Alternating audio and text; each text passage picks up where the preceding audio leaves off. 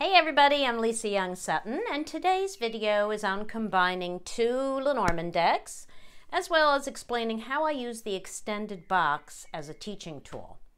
Now, I never really lay this spread for readings, but, but use it to move students comfortably from a box spread to a grand tableau, so it's a teaching tool. For those of you who are teaching Lenormand, or for you learners who want to inch your way toward a grand tableau, give this a try.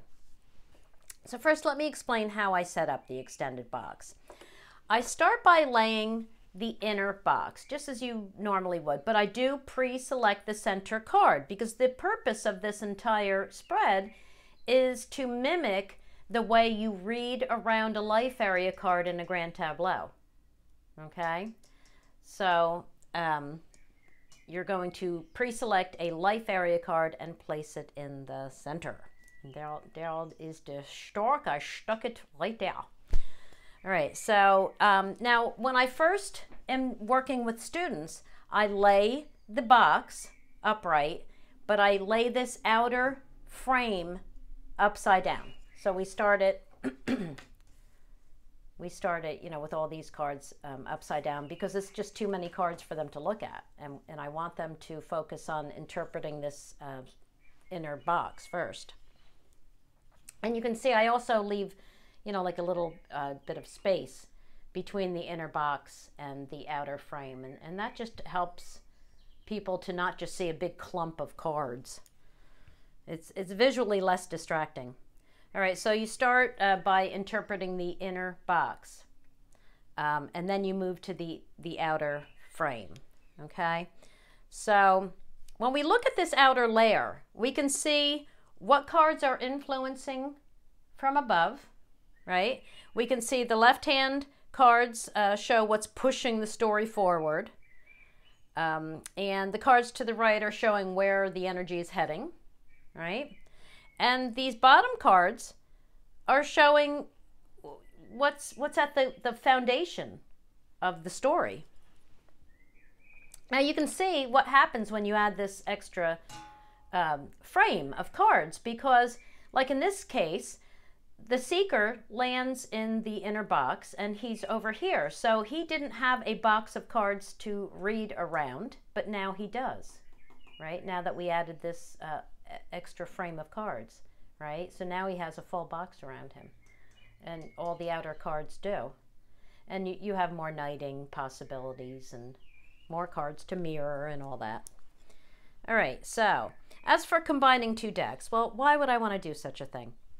Simply to see what doubles appear, because these doubles will draw your attention and act like an exclamation mark or a red flag highlighting a particular topic or theme. You know, similar for those of you who use houses, right? It's similar to a card in its own house, right? It kind of draws attention to itself. Well, double cards will do the same thing. So now this, um, looking at this example, uh, this was a reading for a man who wanted to know if it was a good time to move house and the partner card was not pre-selected. It did show up, and that that was his wife. Um, this was a reading I did, I think it was two summers ago. Anyway, we're just going to act like it's happening right now for this video. So his question was, how will my plans to move residence this summer work out? And I start by seeing what identicals appear. And we can see that we have two riders. In fact, we had two riders in the inner spread. Even before I turned over these outer cards, you could see we had two riders. Um, and we also have two um, crosses, and we have two hearts, and we have two storks. Now, even though I pre-selected this stork and, and uh, you know, forced it there, the other one appeared as well. So the fact that we have two riders, what does that tell me? Tells me he's currently giving this idea a lot of thought. He's putting a lot of energy into it and he's acting quickly. Um, possibly out of a sense of urgency because the scythe is in the hidden issue space, right? Um, so he, I think he's actively trying to find a way to move right now. Now, the extra stork showing up tells me that um, there's going to be a change, that things are going to evolve. Like his plan is going to evolve from his original idea, right? Things are going to change and evolve regarding this move because we have two storks. Um, the two hearts. The two hearts uh, just say that there's a lot of passion and, and emotion involved in this project. Um, this tells me that he feels he needs to move or has a strong desire to change residence right now. It's not like just, you know, somebody who needs to move for work or just thinks it's economically a good idea right now. This is some this is a, a move that's fueled by emotion. All right. And looking at where the, the hearts are, they have they have the mountain between them. Right? So I'd say that his desire is to rise above this challenge, but his passion is being crushed. Right? Because think about it. You have two hearts to read now. One is above the, the mountain and one is below it. Now, the two crosses, I mean, you know, we have 72 cards, right? Yeah, 36 and 36. We got 72 cards at our disposal. And this is a 25 card spread. And out of those uh, 72 cards, we got both crosses. Yeah. So um, that shows that there's a lot of strain and struggle that he can't easily walk away from, right? Like he's lugging that cross. And he feels he's responsible maybe for making this move happen and, and trying to figure it out. And it's quite an ordeal, right? And, and both riders face across, right? So yeah, he's discovering that this is going to be difficult, but he's going to continue to struggle with it. So, um, you know, the riders face what they are bringing to the seeker. So, what are they bringing to him? Hardship and more hardship, struggle and more struggle, despair and more despair, right? There you go. So, now when we look at this inner box, right? We can see that he lands on one side of the stork and the snake is on the other side. So that tells me he's become entangled in a difficult situation regarding moving. And the scythe in the hidden issue space often appears as the final straw. It, it, it made me think that he's he's going to reach a point of taking radical action and, and he he's going to sort through the reasons he feels to need to move at this time. Um, now, the center of the foundational row of the inner box is the money card, is fish. And we can see that money is at the central or is a central underlying factor regarding this whole story. Yeah. Um, and the fact that the fish knights to both riders, and what are both riders bringing. Yeah, the crosses. Yeah, so you know, if he acts on this impulse, if he acts on this impulse to spend money, he's in for hardship and despair. That that's what the rider's going to bring him. Yeah. So the final card of the inner box is the tree. And when the tree is in that final position, it, it's telling you that something is still too unhealthy and needs time to, to grow into a healthier state, right? So it's telling you that something needs to mature, and that requires time. That's why it's a patience card. And he's above it. So we could say that he's firmly rooted, rooted, rooted in this idea. And, um, yeah, and he's not going to give up on it easily. That's what the crosses say as well. Um, but he needs to let things unfold naturally and be patient. Right? That's the message of that of that tray. Now let's see why his wife showed up. Why is wifey Pooh appearing? Well, she's holding up a scythe um, and touches the mountain, which is crushing a heart um, has the other heart above, and, and she's touching the fish, which is held up by the coffin. So just looking at this little box around her, there's part of a box, right? Um, it looks like she's fueled by emotion.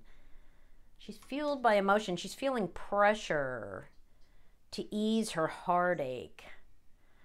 Uh, we could say that she has a lot of deep seated, a lot of deep seated, deep, deep, deep, deep, deep. We've got two deep cards here. Deep seated feelings of urgency. That's the scythe, and feels there's resistance to what she desires. The, you know, the mountain crushing in the heart.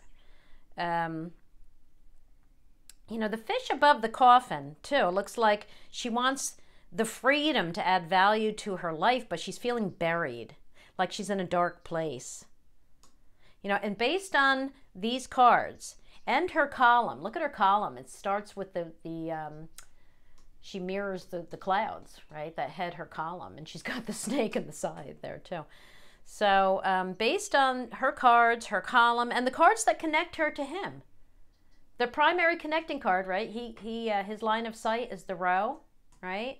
Hers is the column. So this is their uh, primary connecting card is the snake. But they also have um, the mice. So it looks like she's nagging and trying to seduce him into what she wants, right? I, I'd say that she's the reason why he feels pressure to move at a time when it's clearly not favorable. So yeah, I'm going to blame it all on her. Um, now, what did this outer layer of cards add to the story? Well, we can uh, now see what the snake is pointing to, which we didn't have in the inner box, right? It was just pointing out here in, in nowhere land. Um, and, you know, I'd say that Ah, this this snake is telling him that he's um, his emotions are betraying him. Right, the snake pointing at the heart. I knew I'd spit it out. I'd say his emotions are betraying him. They're complicating matters, and he's got to view things more logically. And that's that's why those two hearts showed up. Right, this, this is not a time to be emotional. Yeah, um, and on the other side of him, we didn't have this card before, but we can see now that he is going to find a solution because that's what he's heading toward. He's heading toward the key. All right, so I'll, I'll get back to that. Now, the top row, the top row adds troubling unknowns. We got the book and the um, uh, clouds, right? So we have we have troubling unknowns that will upset him. That's the birds that will upset him into changing the way he views this project. We have the stork and the, and the moon. Um, the bottom row, what is the bottom row adding? Well, the, the bottom row says that this project is starting from a foundation of her desires as well as gnawing worries of, of painful endings and feeling that this is a crisis, right? There's feelings of scarcity and a need to change directions. That's the ways, right? That's that cri- the coffin is the crisis card. Mice is feelings of scarcity and gnawing worries. Yeah, so you can see what's holding this whole thing up, what what this is all based upon. All right, and